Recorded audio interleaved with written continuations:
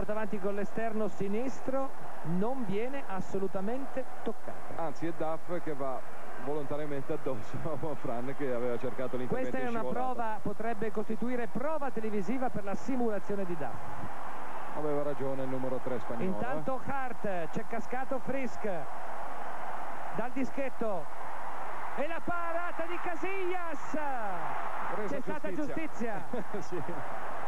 Il sinistro poi sballato di Kilbane.